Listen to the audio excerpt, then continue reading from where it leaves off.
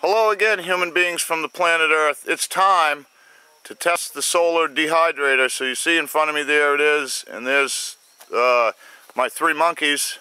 Isaac has the apples ready. Joseph has the test grate ready. And Zachary, the oldest, is here. Now, before we open the cabinet, boys, let's show them, if we can get in here, what the temperature is. I'm not real good with this camera, so be patient.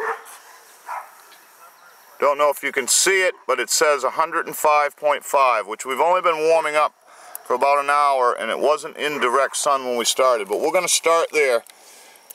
Zachary, go ahead and open the cabinet. Now you can see I've just put two simple turns on the sides. Turn it the other way, buddy. Let's show everybody once you're done. Okay, you got it? And Isaac is going to line up the apples. We're testing apples. And the rack is just temporary. We can fit a lot of racks in here, but this is our first one. And when we started, we started with the idea we were going to in the glass, which was retrieved from the property under brush and coming from late 60s, early 70s VW bus. So uh, it's working well. And we've done some things. I realized that the steel was getting extremely hot underneath. And so common sense told me I'm losing heat. So what I did was build a small air channel, poke holes through the steel that you can see.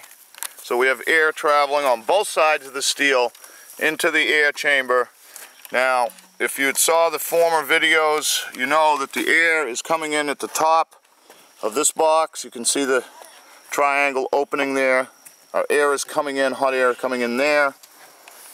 It's coming into the cabinet and it's going out through a cavity built into the wall on the right side of the unit. And it's traveling through the wall cavity out this vent. Now we're using this to control the airflow, which controls the temperature. Uh, and this we're still playing with, obviously. Um, we want to get as much airflow as possible to increase drying time, but we have to maintain temperatures. So we're watching the cabinet, and I see now it's 104.2, so I know the air is moving too fast. We want to get it to at least 110 and try to maintain that. So I'm going to close this and just allow some air to flow and uh, we'll come back here in a couple of hours.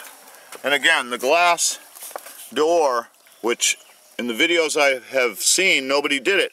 But now I can look and my eye can tell me if those are done or, or pretty close to it instead of opening the cabinet to check and wasting the heat and energy we've generated. So anyway stop by the website. Link will be below to the handmade products page Although we do intend to use this on the farm, we will be continuing after these tests to make smaller ones that will be for sale for anybody within the driving distance of Louisville, Kentucky. I don't have a price worked up, but I'm thinking it's going to be a couple hundred bucks, uh, 250 maybe, I'm not sure, but rough guesstimate. Um, good for a, a single family use. This, obviously, we're growing some food. We're hoping to work on this till we get to uh, temperatures appropriate for making our own jerky as well. And then one of those Bambis that we've seen out in those fields could end up in this cabinet on oh, one of these videos. So uh, anyway, much love. Happy Sunday to everybody. Good day to take a break, give thanks for what you have, and create something that you don't. See you on the next one. Couple hours, uh, we'll give you the test results. We'll let the Allan brothers try their dried apples on video, live, in front of millions of people all across the planet. What do you think about that, Isaac? Outstanding.